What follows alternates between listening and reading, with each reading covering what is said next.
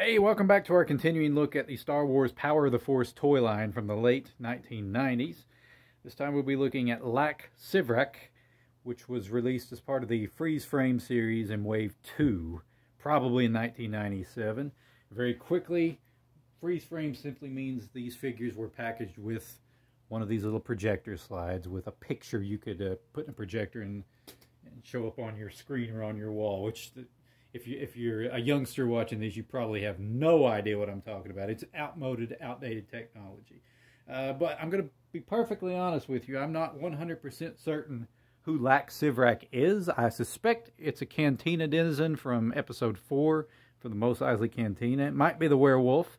That's exactly what he looks like, really, uh, with the claws and everything. But I don't hold me to that. Um, uh, figure hasn't been in the collection too long, but I can tell you this, this one's a little more difficult to find than most of these others in the collection. I, I was patient and I finally got this one for my target, five bucks or less.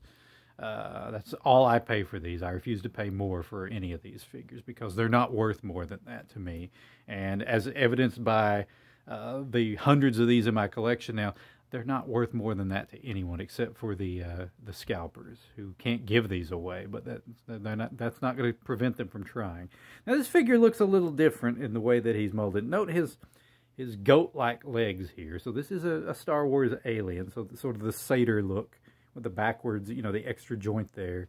Uh, I guess that's technically the ankle. I don't know goat physiology well enough or. Uh, um, anatomy enough to tell you what that's called. But uh, we do have the standard points of articulation, except his head doesn't move that well, okay? And I wouldn't force it.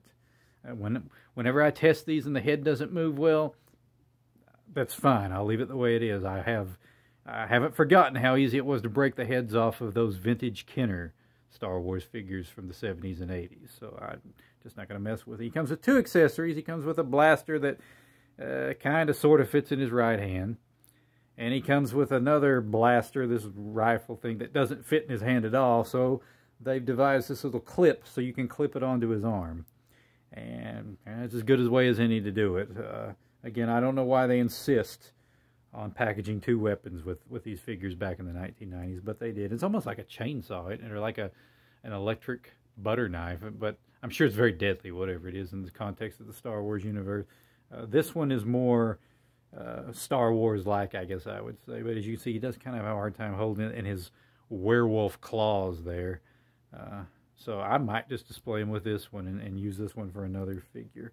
In fact, it came out so easy, I think that's exactly what I'm going to do. But, like I said, his head doesn't move very well. But he swivels at the waist, swivels at the shoulders. It almost looks like his he should have some more articulation there in the shoulders, but he doesn't. It's just a swivel. And at the uh, hips. Now, the... Skirting down here on his jacket um, is made out of a, a, softer plastic, but that is kind of sort of going to inhibit articulation just a little bit. I think he looks pretty good without that other weapon in his hand anyway. Probably looks even better without this one, I'm going to leave one of these on display. This is probably the werewolf-looking creature from the uh, uh, from the bar scene, the cantina scene in episode 4, but uh, he almost looks like he's wearing Jedi robes, doesn't he? Uh, but hey, good paint apps, good sculpting. It's a very menacing face. Let's take one look at it without. Oh, that's even scarier. Yeah, that looks pretty cool. So this figure exists, pals. It's part of the Power of the Force 2 line.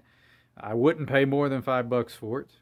Um, I can't really tell you how to spend your money, but uh, you, I got this for five or less. You can too, okay? Well, pals, thanks so much for watching. May the Force be with you, and I'll talk to you again real soon.